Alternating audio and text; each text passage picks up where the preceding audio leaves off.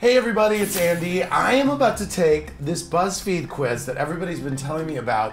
Which talk show host would be your drinking buddy? Ironic, right? I mean, I know who my drinking buddy is. Okay, where are you drinking?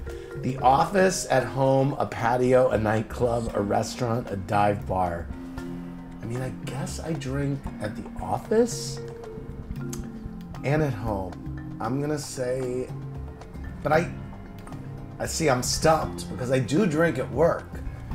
I'm gonna say at, at the office. Okay. Pick your poison tequila, white wine, vodka, champagne, whiskey, or beer. I'm gonna pick whiskey. Pick a karaoke duet. Shoop, Love Shack, Landslide, Since You've Been Gone, I Want You to Want Me, or Dancing Queen. This is so hard because here are my three Love Shack, Dancing Queen, and Since You've Been Gone. I'm gonna pick Since You've Been Gone. Who do you drunk dial? Oprah, Justin Timberlake, Kelly Ripa, Madonna, Barbara Walters, Jay Leno.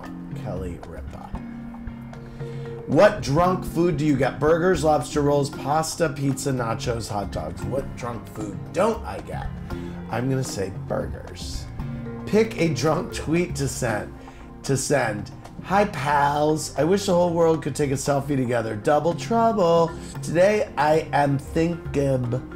In the year 2000, yeah, I love New York.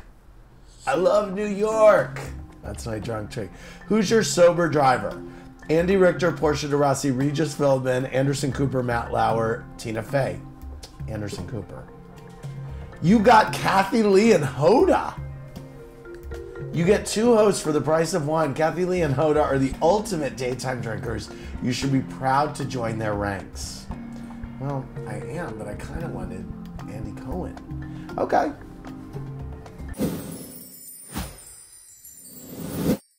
Hey YouTube, thanks for watching. And make sure you subscribe to our Watch What Happens Live Clubhouse channel right here. And to watch more videos, click here and here. See ya.